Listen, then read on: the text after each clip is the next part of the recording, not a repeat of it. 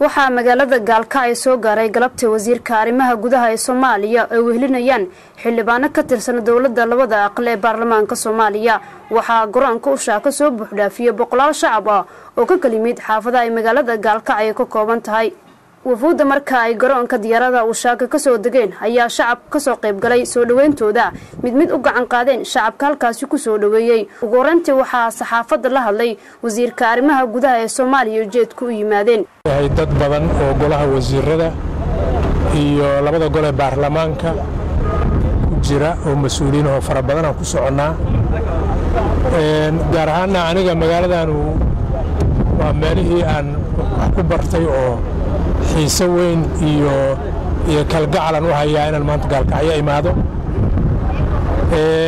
Socodkayagu guud ahaan waa uun socodka madaxweynahana qaybu ka yahay. Amuurahan hadda galmudug u soo socda oo dib u heshiisiintana budligu u yahay. Marka saxaafaddana waan wada hadli doonnaa wakhtigaan isu haysanaa haddii aan la yidhaahdo waa badan yihiin mas'uuliyiintu. Magaalada gaalkacyo ayaa laga dareemayaa qabaqaabadii ugu dambeysay ee lagu soo dhaweynayo madaxweynaha soomaaliya maxamed cabdulaahi farmaajo. Madaxweynaha jamhuuriyadda ayaa beri la filayaa inuu soo gaaro magaalada gaalkacyo. Waddooyinka qaar magaalada gaalkacyo waxaa lagu sharxay calanka galmudug iyo calanka jamhuuriyadda soomaaliya.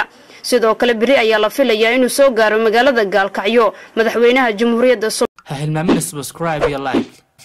say dhiirigelin inoogu noqoto. Muuqaalada cusub ee faa'iidooyinka iyo qiimaha leh ee joogta